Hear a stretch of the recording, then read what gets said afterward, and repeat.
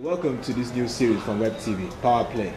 With me on this very interesting program is an analyst, a very incisive one, Kelvin Emmanuel. Great to have you. Thanks for having me again. Today we'll be looking at the recent rating by Forbes. Forbes is a magazine that rates powerful people in the world. And they rated President Vladimir Putin of Russia as the most powerful man in the world, ahead of President Barack Obama of the US. That is very, very interesting and surprising. And we'll be discussing why that happened. Stay tuned. It's a very interesting play, and um, considering that the uh, Russian leader is not very popular in the West, it, uh, it raised a lot of eyebrows. But you need to realize that um, these ratings are based on events over a period of time. Look at the decision by the Nobel Committee to award the um, the, um, the, the Organization for the Prohibition of Chemical Weapons. Ahead of Malala. Ahead of um, Malala, the yes. Pakistani girl that was shot in the head. Yes. Look at the fact that the one most critical issue in the world now for global peace is the ban and the eradication of chemical weapons. Yes. When you consider the fact that the Organization for the Prohibition of Chemical Weapons has been working for years in the in the Middle East to eradicate and totally take out all chemical weapons in the world. And um, you look at the fact that Mr. Putin and his, prime, um, his foreign minister Lavrov were very instrumental yeah. to the deal that yes. the West, the UK, France, and the US signed with Syria yeah. to declare all their stockpiles yes. and to destroy their stockpiles yes. and to destroy the plants that produce these chemical weapons, sarin gas, mustard, um, you, you have to give it to Putin. Now, you know, I, in some quarters, I've heard people say that um, um, Obama failed. And I choose to disagree because I felt it was the smartest diplomatic decision or move that President Obama has ever had in his presidency so far until now, in his five years plus of presidency best diplomatic yes it was the best diplomatic move because you have a president that came on one office on the premise that i don't want to go to war. I don't want to expose young americans on the field in foreign countries. I don't want to increase DOD's budget the department of defense budget. They've cut down the DOD's budget from about a trillion dollars down to 600 billion dollars and now down to 300 billion dollars. You have a president who says let's use more of um, covert operations. Let's use more of diplomacy to resolve issues with other countries than military military aggression, right? So it's it's ironical to think that Obama will be one person that wants to go to war. He never really wanted to go to war.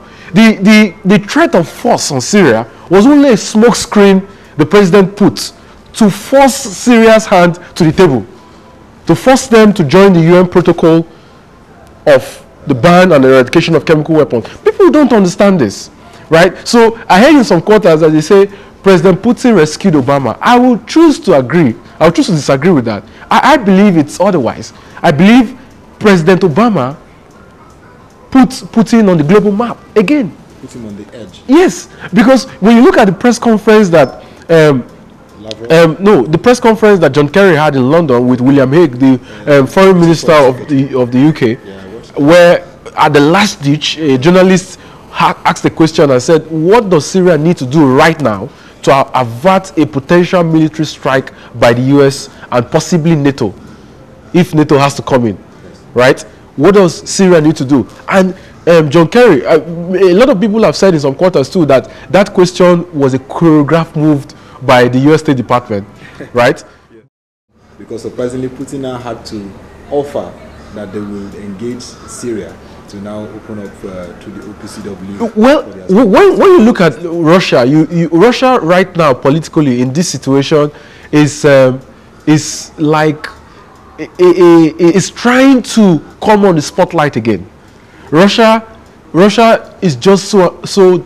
So I, wouldn't use the word desperate. Desperate would be a very aggressive word. I would use the word eager. Russia is just so eager to be prominent in diplomatic space. So Russia was eager to take advantage of the fact that um, they have a, a strong uh, military um, tie, diplomatic tie with um, um, Syria. They supply Syria weapons, and it took advantage of that to negotiate with Bashar al-Assad to give up his chemical weapons because he felt that that was the only way out of the situation.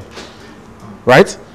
But unbeknownst to them that President Obama never wanted military action. How do you have a president who was elected on the premise that I'm going to cut down the defense budget, which he has, I'm going to revenge um, um, terrorist attacks, which he has to a great extent, yes. I'm going to um, bring back our troops back from Afghanistan, from Iraq, which he has done to the most extent. I'm going to see that we use more of covert operations, the naval SEALs, drones, we use more of diplomacy to re resolve our issues with other countries and regions, which he's doing right now.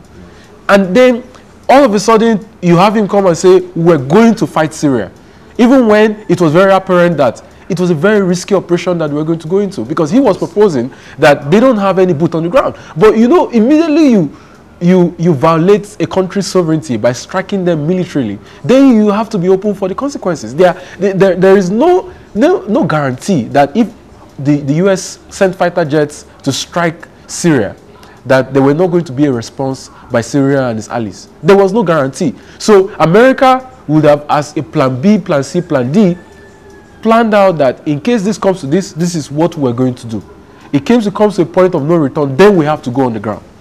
Right? So it's ironical for people to believe that President Obama failed um, in, in, in um, in the, in the whole situation. It's ironical, and I don't believe it. I choose to believe that the threat of force was just a small screen that the US did, and it was a well choreographed move like I've never seen in a very long time by any government.